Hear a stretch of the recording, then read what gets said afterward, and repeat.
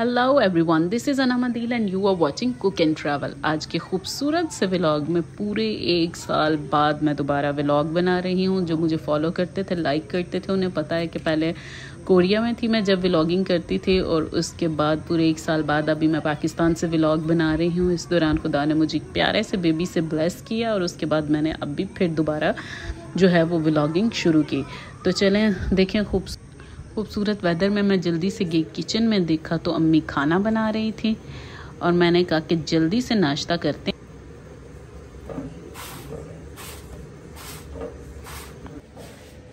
मौसम भी बहुत खूबसूरत था, तीन चार दिन से बहुत गर्मी थी, लेकिन आज फाइनली बहुत अच्छा मौसम था। तो ये है जी मेरा प्यारा सा क्यूट सा बेबी एबनर से हेलो एबनर से hello to everyone Abner Abner भाई कैमरा ऑन एबनर इधर देखो।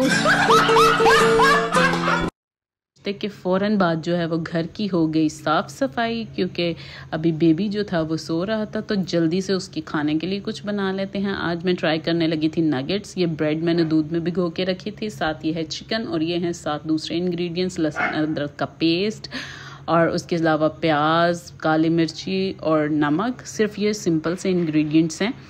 ये मेरी सिस्टर ने रेसिपी बताई और साथ उन्होंने मुझे दी। ये खूबसूरत सी machine as a gift food factory थी एक्चुअली ताकि मैं अपने घर जाऊँ और अपने बेबी के लिए यामी यामी नगेट्स बनाऊँ और दूसरी चीज़ें बनाऊँ ताकि उसकी डाइट अच्छी रहे। Oh! तो चलें जी प्रॉपर नगेट्स बनाना स्टार्ट करते हैं। अब इंस्ट्रक्शंस को पढ़ते हैं और फिर उसके बाद प्रॉपर जो है वो कुकिंग स्टार्ट करते हैं। चिकन को डाला, उसके साथ जो मैंने ब्रेड ली हुई थी, जो मैंने भिगो के दूध में रखी थी ऑलमोस्ट 10 से 15 मिनट वो भी रेडी है और उसके साथ जो सिंपल से इंग्रेडिएंट्स थे वो मैंने ऐड कर दिया और इन सबको हम अच्छे से ब्लेंड करेंगे और इसका एक कितना अच्छा यमी सा क्रीमी सा मिक्सचर बन जाएगा, जिससे हम प्रॉपर अपने नगेट्स बना लेंगे। है देखो जी कितना प्यारा अच्छा सा क्रीमी सा जो है वो मिक्सचर तैयार हो गया। मैंने ब्रेड क्रम्स वगैरह नहीं लगाए क्योंकि वो बेबी को बिल्कुल पसंद नहीं तो चलें बेबी फिर से नहा धो के हो गया रेडी और अब काके की चार्जिंग भी फुल थी। अभी और जल्दी से जो है वो चैनल पे या वीडियो पे जो नए हैं चैनल को सब्सक्राइब कर दें लाइक करें शेयर करें और कमेंट करके बताएँ। तो अभी जी काके के मैंने कपड़े शपड़े चेंज किए थोड़ा रिलैक्स किया तो ये जी था eating time grapes first time try किए। आप एक्सप्रेशंस देखें।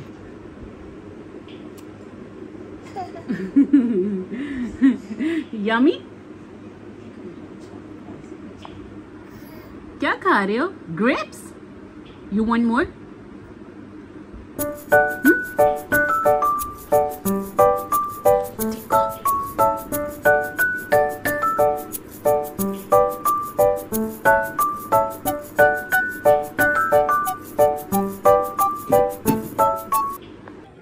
बाहर के शाम के नज़ारे को देखते हुए मेरा मूड बन गया कि अच्छी सी चिकन कढ़ाई बनाते हैं। तो आज मैं आपको ऐसी चिकन कढ़ाई बनाना सिखाऊँगी कि जेड़े कहते हैं ना कि तेन कुछ ही नहीं आता तेरे हाथ च जायका नहीं, वो भी परेशान हो जाएँगे।